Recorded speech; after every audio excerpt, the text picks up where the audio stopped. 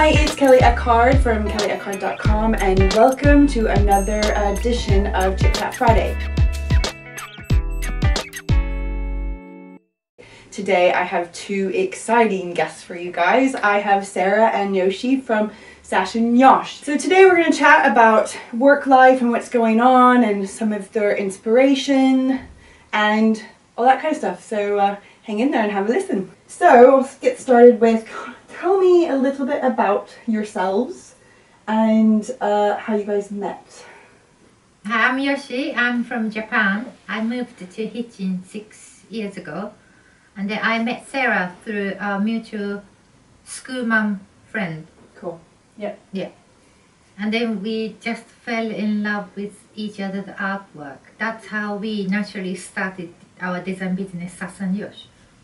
So I've always been in Hitchin, but I lived in London for six years, and then came back and was teaching at the time. And I'd taken a redundancy, gone back to university to do children's book illustration, and then I was finished my degree. I was working back at another college teaching um, A level art students, and then that's when I met Yoshi. And I wasn't massively happy at the new place I was teaching, and I didn't really know what I wanted to do. And Yoshi literally said, I think in our kitchen one day over coffee, why don't we start a business? Yeah. Uh, what business? That's what came in my head. I was like, what should we do? And she said, well, because Yoshi has a background in fashion, um, and then we'd both um, had published children's books. Hmm. So illustration and something, and Yoshi was like, well, I can make repeat patterns, so let's make some designs. And we started off with um, wallpaper, Hmm. tea towels, and mugs. Is that it? Apron. And aprons. Yeah. Nice. Yes, and then kind of just put it out there and Yeah. See what happens. yeah, see what happens. Amazing. And so, what inspires your designs? Do you like have a theme or story you're trying to tell? Like, so, when you're sitting down, say, right, we want to come up with a new wallpaper or a new sweatshirt design or something. What what gets the creativity rolling and going? For signature designs, such as flower girls, flying, Yeah. uh, flying journey, the bird pattern, we didn't really set up our theme. Yeah, we Just anything come up in our Yeah. head. Nice. we kind of Mm. decided when we um, before we decided what we were going to make with anything. We I think it was maybe in like July. We said let's go away for three months and just start drawing stuff, and then we'll Cool. come back and we'll see what patterns we can make out of everything. And the first designs, I think Yoshi did the flower girl was the first thing you draw drew. Yeah, I so. And then I went to the V and A and was looking at the jewellery collection there, and I ended up drawing the birds with sort of jewellery on them. Yeah. Hmm. And then it just kind of, it was all a bit, we were like, oh, we love flamingo. I mean, we've always been a bit like, oh, let's draw a unicorn. Oh, let's draw something Mm. else. Yeah. We like circus. I mean, it's just, Yeah. we don't, kind of just whatever we fancy, Hmm. themes that we like, which I guess is the best thing about having your own business, that you can Yeah. literally decide Yeah. whatever we- you fancy So drawing. we don't really, really follow the trend Yeah. in nowadays market. We just do whatever we, Yeah. we like. That's I mean that that's the best though, right? Because then you start to see a trend within your within your Mm. designs. It's the signature. Yeah. But I think the thing that w- when we first started, it was harder because we were sending our stuff to lots of people, Hmm.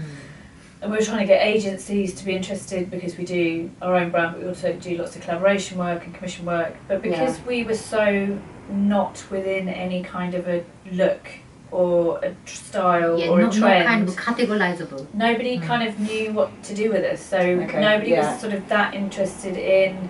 But it doesn't quite, you know, Liberty's liked that didn't. It, it was like we love it, but it doesn't fit in with what we do, or it's a bit too this for John Lewis, or it's a bit, Hmm. you know, it's not. You know, illustration agencies where it doesn't fit within any kind of like style selection or collection we box. have. Yeah.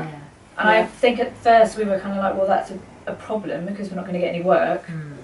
But then now it's it's better because I don't think there's.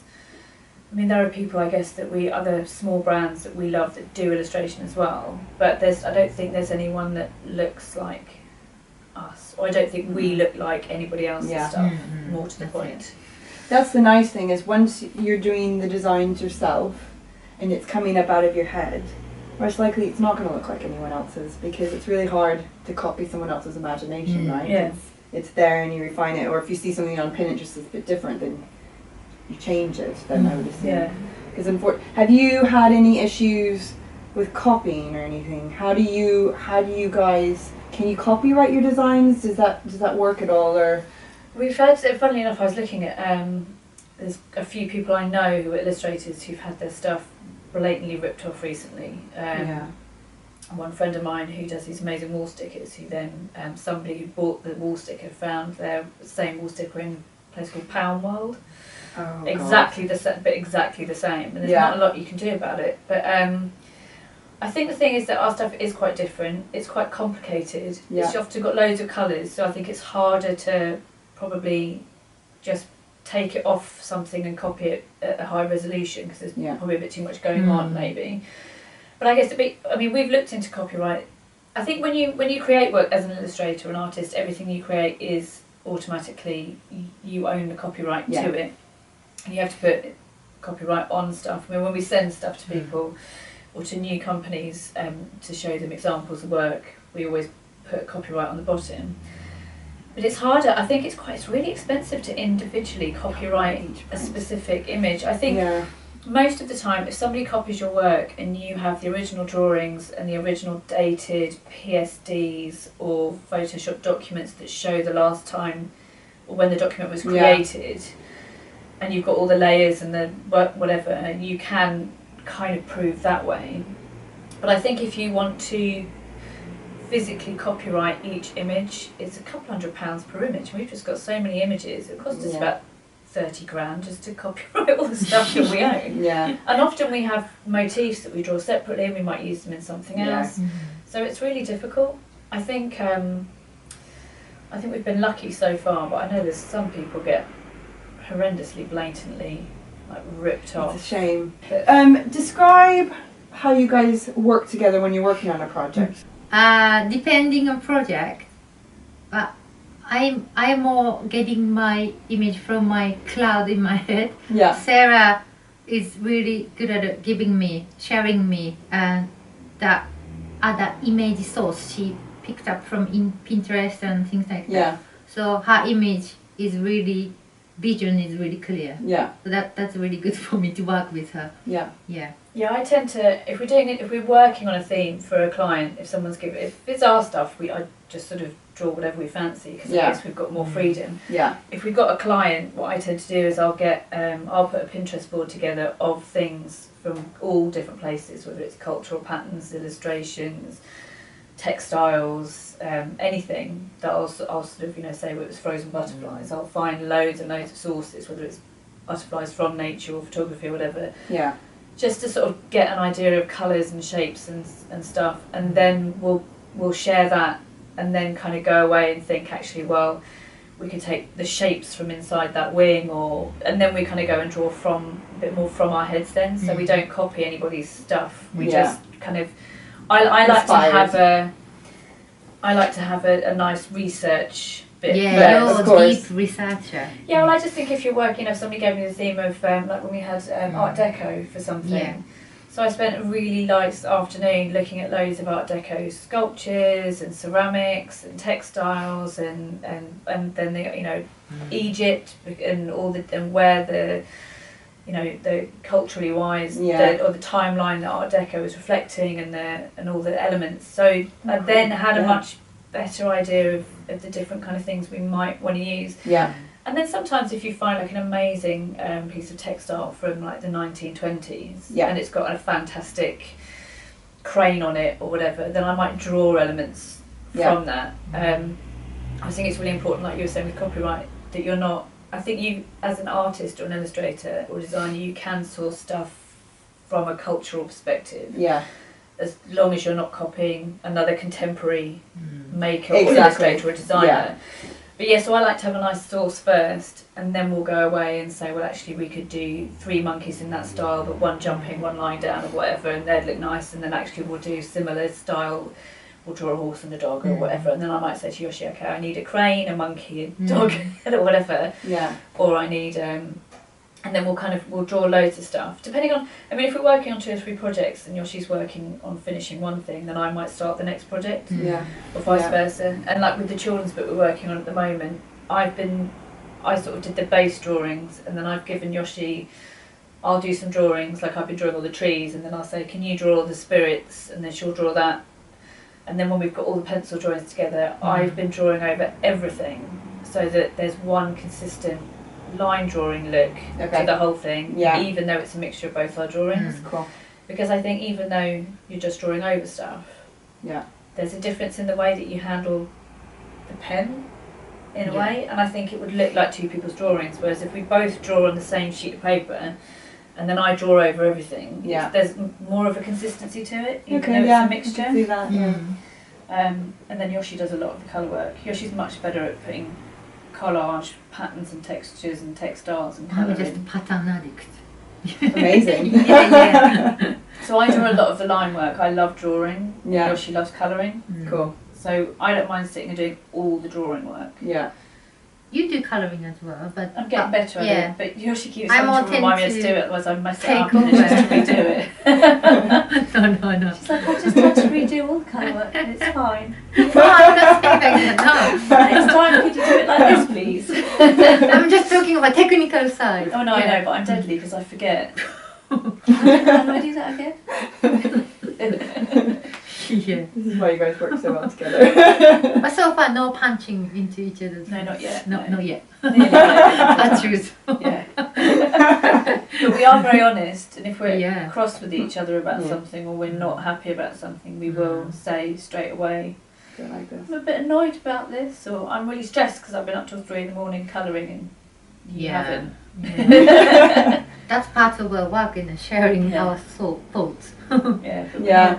You have to keep an open and honest relationship. Oh yeah, otherwise we wouldn't be able to working together like No, this. yeah.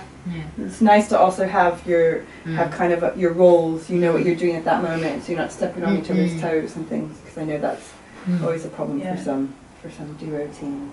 But I think we do, we like working on different stuff, Yeah. and I think we both have different talents that we're better at than each other in yeah. a way. Yeah. So we kind of, um, and actually, if you get stuck, if you're, sometimes we're working on something and the client keeps coming back and saying, "Oh, I don't know, I don't know what Yeah, it is about this, it. I'm not that." quite Yeah. sure, but Mm. can you take something out or put them back in?" And you've been working on it all day, and you're like, "Can you? Can you, I'm just sending it to you. Can you do You something just with do it? Because yeah. I, I like what I've done, I don't want or to change it. I don't yeah. know what she wants. so now can you your have a go? turn. Yeah. So sometimes we do throw things backwards and forwards Mm. from each other until one of us will get it. One of us will get it right. Like pass the parcel. Yeah. yeah, and it gets Here's your changed. turn. yeah. It gets tweaked each Each time. time Yeah. to what they want. Mm. Um, where are some places you guys like to go to to kind of gain inspiration? I like the V&A. Oh, me too. Yeah, Mm. we should go to. We've never been to the V&A together. Not together. Oh, you no, totally no. should go to V&A together. I Yeah. love that place. No, I love Yeah. the V&A. I think it depends what we're doing, really. Yeah. I think sometimes you can just walk around a, you know, Mm. walk around anywhere and see things that, Yeah. depending on what you're working on. Mm. I get weird ideas when I'm going to sleep. I'll be like, oh, I can move that and change that tree and add a Keep your- thing, and then Keep your sketchbook and a pen Yeah. by you. do you do you have a sketchbook and a pen by your bedside I, table? I tend to put just notes in my phone. I just like grab yeah. my phone and put a couple of notes in. But I do tend to Mm. get my if something's not working right, yeah. Mm. um, like one of the pages from the book we've been working on, that I'm just not happy with, and I suddenly had a kind of oh moment. Yeah. Just started Yeah, dropping it's off. yeah. I That, would, get, that would work. yeah, and I get inspiration often from the, the woods. When I'm walking my dog Margot, Yeah. yeah, and it's just just no noise. That's on helpful, the other, isn't it? yeah, on the other hand, I love being in a coffee bar. Yeah. The noise, noise, Yeah. the noise give me a lot of information. Um, describe each of your style clothing wise. What are some of your favorite brands, or you know, if you're going to go out, what, what do you like to dress like? Um, Um, I quite like. Um, I love anything with my husband always jokes like you like anything with an illustration on it. nice. So It's so surprising. I quite um, you know things like Balenciaga Miu that I can't afford that I would love to be able to wear. If anybody wants to send me some free stuff, um, yeah, me too. yeah, or any of us. Um, I can't think. Of, I I tend to buy either kind of quite like new design. I, I go if I'm. I don't buy a lot. I Yeah. used to go out every year and do the sort of you know H and M, Top Shop, Yeah. Urban Outfitters sort of shop where you'd go twice a year for spring, summer, and autumn, winter, and I would sort of blow Yeah. the season's money. I don't really do that anymore. I tend to buy maybe. I was having a conversation with um, Manifesto kids the other day about this. Um, I buy a lot less, but I buy more expensive stuff. Yeah. So I tend to buy, tend to either go to Liberty's and buy like maybe two things, like Yeah. a new top and a new skirt, or whatever. But because I've been doing it for about five or six years, I've now got quite a nice, Nice. wardrobe of nice. So I'll, I'll, I tend to sort of go, what do I not have that either goes with this or whatever? What Yeah. do I need? I need a jumper and I need a new mm. shirt Yeah. or whatever. And then, so it's more kind of, I, I guess, more of, not like crazy luxury brands because I can't afford anything that's like, I went in the other day and was like looking at something that was like two grand going, not to be going to try it on, but unless I'm going to tuck it up my jumper, it's not coming home with me. But yeah, I kind of tend to go, I like Sandro for sort Yeah. of basics because they're they've nice. always got nice shapes and a little detail. Yeah. Um, if I'm being really naughty, I like things like Golden Goose. I love those shoes so much. Yeah, which is like maybe one pair every two years. Yeah. The last, the last two, their designs are so cool. Um, Pinko, Yeah. where my new coat's from. And then I tend to, I quite often find new brands. So I've got loads of stuff, but I can't think what Yeah. what their names are. But I, yeah, things that are either really colourful or Yeah. pattern or. I'm kind of just starting to buy some more black things so that I can cope with all the colour and pattern and stuff. I also I love um, where did I get um, Zadig and Voltaire. Yeah, I've fallen in love with a little bit, and when I can afford it, Kenzo. Yeah. Oh god. Yeah. I could see you guys. Definitely Kenzo vibe. But it's that kind of you know one one piece, Yeah. one or two pieces a year, like Yeah, spring save summer, and one or two. So even though they're more expensive, but then they last forever. Like Yeah. that, you know you'll wear that for the next fifteen years. Yeah. and it'll last and it fits beautifully and it's tailored so I don't ever tend really to buy high street Yeah. ever Good thing. but only because I just think you're making an investment in something that you will always have rather than chucking chucking everything it out. every Yeah, I agree. Yeah. What about you, Yoshi? What is your style? My style, what's my style? I can't really describe. I mean, with the Japanese, and do you? I mean, do you have a very clearly because you're Japanese? You have a Japanese influence? Do you? Eh, now, uh, here, I love going to Anthropologie Yeah. because they have most of my, my taste. Yeah. Yeah, like this. And, and then now I love go yeah shopping in Japan. So because the Tokyo brands are so different Yeah. from any other country. I love that uniqueness. I love everything's oversized too. So nice. The shapes are beautiful. Oh yeah, yeah. Japanese shapes are mm. amazing. but you wear a lot of bold colours and patterns Yes, same as you. of- Like you yeah. said, I I'm now becoming a bit more well organized about my what I've got in my wardrobe. Yeah. Yeah, I, again, when I was younger, I used to buy too many things, um, and then every time when I open the closet, land the Things slide. fall out. Yeah. yeah, Yeah. and I didn't know what I've got. But now, I'm much more organized, and then yeah, so, so like Sarah said, um, I add some more plain color to go well with my Oh, uh, your bright stuff. one. yeah, more balance. you Yeah. tend to buy more shoes I You love like shoes. shoes, Yeah, yeah. I don't have too many though. Yeah, but you've got quite all your shoes are quite quirky I love You've got it. quite Yeah, cool yeah. shoes Nice. So, tell me about work-life balance. How do you guys do it with kids and everything else, and the cat over here, and, the, leopard, and the leopard? Chief leopard. yeah, she just she just sleeps all day so she's kind of Oh, she's got it down. yeah Work-life balance is easy for you. like my cat. Um, I think it's just it's that trying to get um, trying to get stuff done in the school run, which is the the nightmare for everybody. I think though, isn't it? Like the sort of mothers running Yeah. around everywhere trying to get everything done. Especially when you do sometimes as well find yourself still standing in the playground about half an hour after you're supposed to have gone home because you just come in on a conversation that's quite I do that quite a lot actually. Um, but yeah, I think it's just trying to get everything done in that time frame. yeah. Um, I mean, I'm lucky. I work at home. The studio's above um, where we live. My husband's salon's downstairs, so I can, you know, like Scarlett's off today, so she's obviously not at school, but she's eight, so I can do a lot more. But also, if I need to pop out and if I need to do stuff, I can't. I don't have to take her everywhere with me. Yeah. And I do like the fact that obviously she's sick, but I'm at home and I can I can still work. I like the fact that I can be there for her. Yeah. You know, it's not like she's had to go and stay at a friend's house today or she's had to go and stay with my mum. So I like being able to be a parent and do my own thing, but I also really wish there was at least three more hours in the day. Yeah. Yeah. Exactly. And our work is not not like go okay time to go home switch Yeah. on and off not like that. So hard isn't it? Yeah. Mm. But that's actually, I think we're getting a bit better at that because I have said that the client we're working on on the storybook, who are lovely, but I've said once we break for Christmas, please don't send me any feedback Yeah. because I will look at it and I will then either get stressed or worried about it or I'll feel like I should be doing it and I Yeah. don't actually want to know anything about what you think about it Yeah. until January. Fair and then enough. you can have my whole Yeah. heart and soul in it again. Yeah. But I think sometimes you have to be quite, um, and in fact, this year I'm going to for the first time put on an email, Out of office. we're out of office. Yeah. So please email, but don't expect a response. Last question. What um for women out there that want to start their own thing? What's your advice? What have you learned along the way? I think, um, firstly, oh, I was going to say before as well, get a good accountant. Oh yes.